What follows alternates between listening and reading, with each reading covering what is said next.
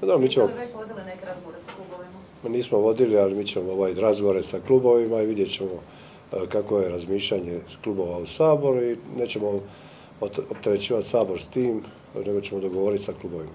A jeste li se već čuli s domovinskim pokretom? Kakav je stav vaše Nismo se čuli jer nismo o- o- ovu laž i prevaru smo mislili da se neće ponavljati. Nismo očekivali da Milanović će tako nastupati jer očito on i dalje kršitelj Ustava, sad je ušao u kampanju i sad truje hrvatsku javnost lažima i prevarama. Nismo očekivali za sve njegove e, gluposti koje je radio cijelo ovaj period, njegove laži, nismo očekivali da i ovako i u ovim vremenima kad smo mi u situaciji dva velika rata, jedan na Bliskom istoku, e, jučer dodatno zaoštravanje i u Ukrajini, da će predsjednik države i dalje se ponašati ovako, ali tu je uvijek ključno ovo pitanje za čije interese on ovo sve radi. Spomenuli ste gospodina Bulja u kontekstu kampanje gospodina Milanovića, međutim on jutros kaže da će vjerojatno ovih dana i sam objaviti svoju kandidaturu za Pa to je kao i Raspudička. Svi će oni raditi za Milanovića. Vi znate da je Raspudičkina kandidatura isto u korist Milanovića, tako mora se pojaviti Bulj i još takvi nekakvi koji ujutro viče za dom spremni, a popodne sa SDP-om ima koaliciju u gradu Sinju, znači sa komunistima je ujutro, e, ujutro, a popodne je sa, za dom spreman. Znači sve možemo očekivati od njega, od tih populista i prevaranata. Samo da se kratko vratimo, kako očekujete da će se domovinski pokret postaviti u ovoj situaciji? Znamo kad je bilo glasovanje oko ukrajinskih vojnika da nisu bile za i da nisu bili jedinstveni na kraju. Mi smo koalicija i uvijek u koaliciji dogovaramo sve naše stavove i tako će biti i ovaj put.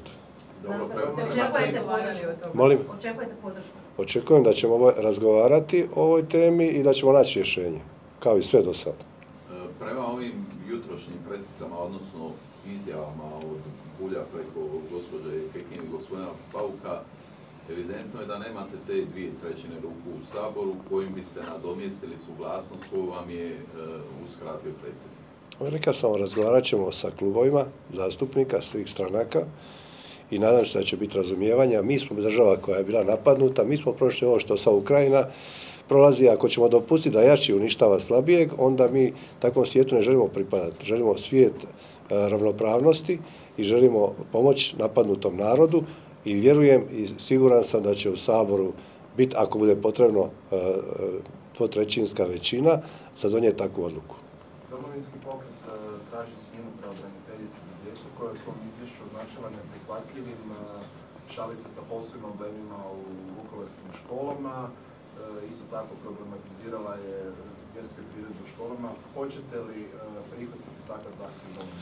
Nemam tu informaciju i nisam, e, to nije bila tema naše, jučer smo imali koaliciju, nije bila tema, znači ne mogu govoriti o tom što, vidjet ćemo za to, pa možemo kad budemo znali točno i kad bude tema na našoj koaliciji. Za sad ja stvarno nisam to vidio, nismo o tom razgovarali, jučer smo imali koaliciju, to nije bila tema. Ali je bila jedna tema, vjerujem kako je rečeno, gospodin Kajtazi, ovaj incident što se dogodio. Evo, kako ste vi doživjeli njegovo tumačenje cijele, situacije? Vidjeli smo jučer gospođu Kršmar koja je na nekom ove TV prvi put potvrdila da je bilo nekog nasilja, mijenjali to sada situaciju?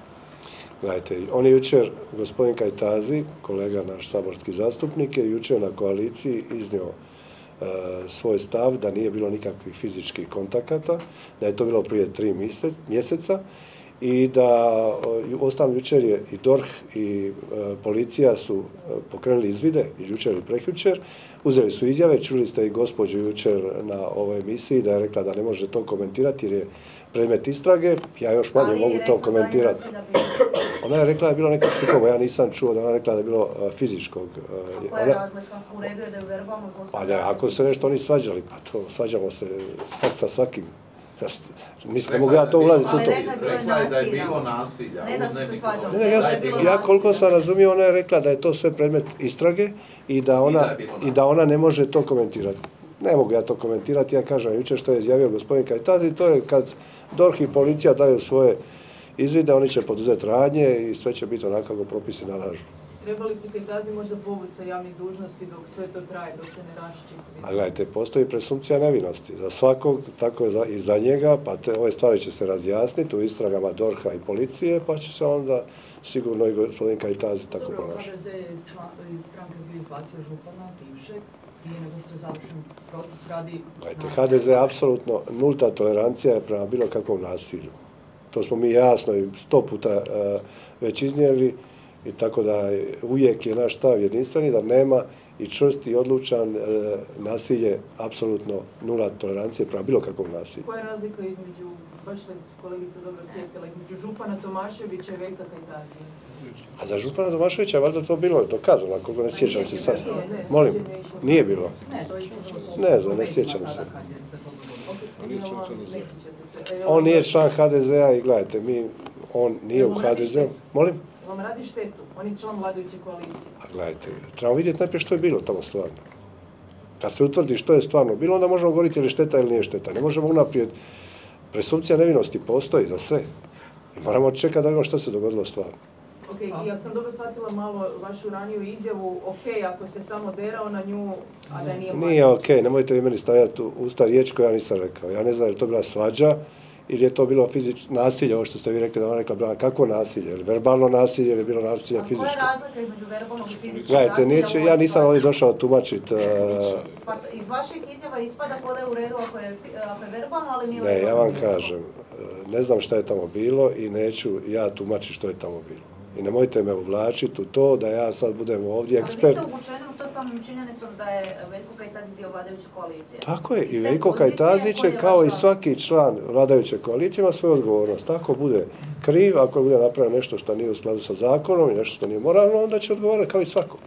On nije član HDZ-a, on je član naše vladajuće koalicije, ali vrijedi da sve isto. Moje zadnje pitanje. E, DORH očito istražuje navodno nasilje, ali piše se i o financijskim malverzacijama u Kali Sari. Treba li DORH istražiti i te navode? pa ja, mislim da, da je DORH odgovoran istražiti sve gdje postoje ikakve sumnje, ne samo tu kod njih, nego bilo gdje i to i radi.